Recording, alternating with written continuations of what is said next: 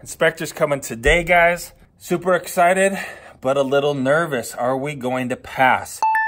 Good morning, guys. Welcome back to the off-grid homesteading vlog where we are building our off-grid cabin. We're currently putting in the plumbing for the cabin and we have an inspection scheduled for today. Let me show you what we've got right here. We've got inch and a quarter poly with the blue tracer wire right down in this trench. The trench is about two feet deep, but we're gonna backfill um, from here out and then slope it down like that. So the pipe is actually gonna be almost five feet underground here. We've got our sewer line here. We actually had to cut it and cap it here for the inspection.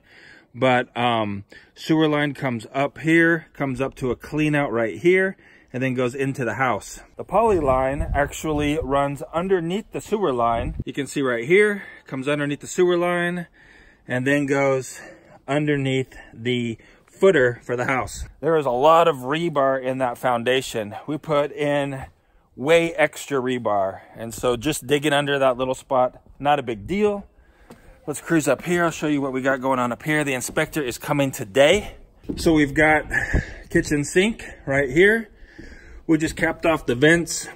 Then we've got the bathroom over here, right, where we've got um, shower tub P-trap, vent for that, toilet vent, toilet flange, and then the vanity right here. We've got the, um, what is this thing called? This is for the washing machine, right? So we've got that P-trap, all that clean out, capped, and then we've got the black poly coming up here, like that. If you haven't been following along, or you don't know really what I'm talking about, let me show you downstairs several videos we've got of us actually plumbing all of this in right here. So what we've got is, this is three inch ABS. It goes up and goes out through the rim joist for the clean out. Then you've got, of course, the shower, toilet, vanity, laundry. This is the poly pipe coming up and going into the wall. And then over here, we've got the kitchen sink and at 90s and goes out through the wall. So Inspector's coming today, guys. Super excited, but a little nervous. Are we going to pass? Poll. There's a poll right up here, guys. Are we going to pass the inspection or not? Yes or no, right there. You guys take your guess and we'll see when he gets here. While we're waiting for the inspector, I've been cleaning up the tool shed. Guys, you could not even see the floor in here, man. It was so dirty. It's like every time we do a project, tools just get piled in here on the floor because, well, Jules and the kids don't know where the tools go. So they put them on the floor so I can put them away later. But then I never get around to putting them away. Well, we'll get this thing cleaned up here. Check this out, little sneak peek. Check out this, guys. This is gonna be a future video right here. Ooh, cell phone booster, high boost. We're gonna give it a test. Coming up in a future video. Guys, the inspector is here now. Let's go see if we pass.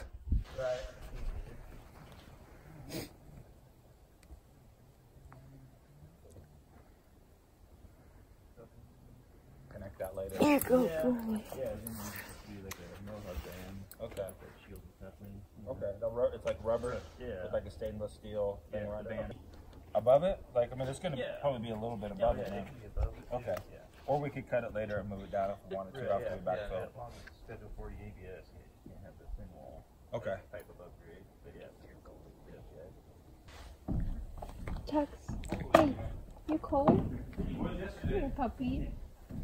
Here, and then, or down here, or somewhere right in here. Yeah, usually about 42 inches is where most people do it. Okay. And then you get your outlets at 48. Okay, It just so gotta be forty-two. Yeah, you just gotta be six inches above flood level rim.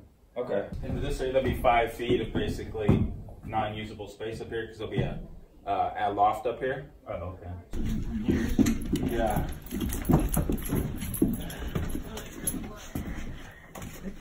Want me to grab a flashlight? I can see enough. Okay. Light coming down. Well, he said it's all good down there, guys. Woohoo! That's awesome. Yeah. And then supply lines or something for the water coming into the house. Uh oh. Yeah. Um, can I like I was thinking of doing a manifold system for the with the PEX, Mm-hmm. and can I make a recessed box so that that manifold's inside the Ball valve and go here. Okay. Is this, is there any like, on how tall off the floor it needs to be or anything? Uh, I usually people transition down in the crawl space from poly to PEX. Oh, okay. Are you guys already? You guys already doing this test then? Yeah, it's already, here. you already looked at it. Oh, okay. Still on five.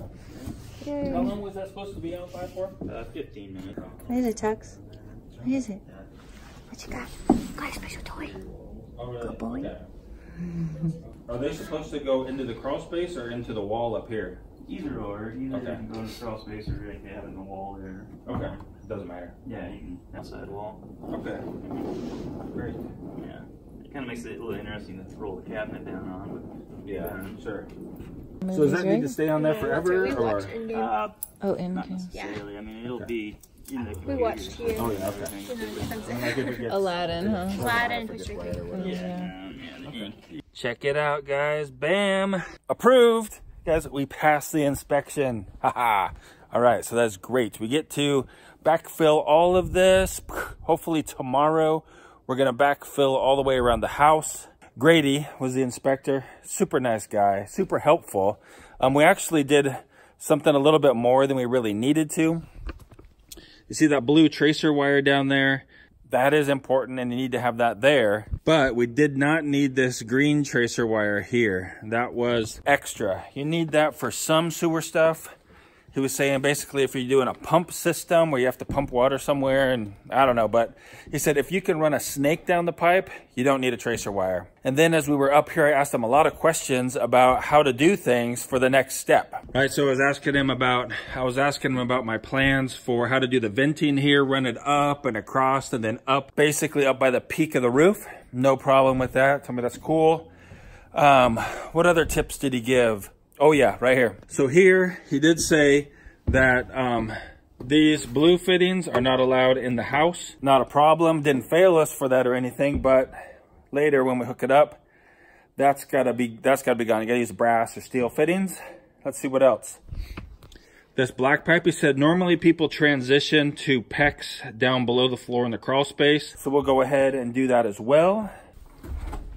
Down here in the crawl space, he said everything is good. Um, one thing though is we need to add more strapping to it.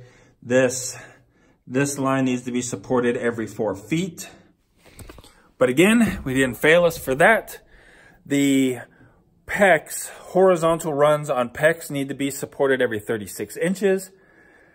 The ABS horizontal runs need to be supported every four feet, he said. I was planning on actually running all of the PEX through the walls above the floor, but he said that everybody up here basically just runs it in the crawl space. Just drill through the joist if you have to and insulate it up there and you're good to go. So I think that's what we're gonna do. That's gonna be way easier than running it through the walls.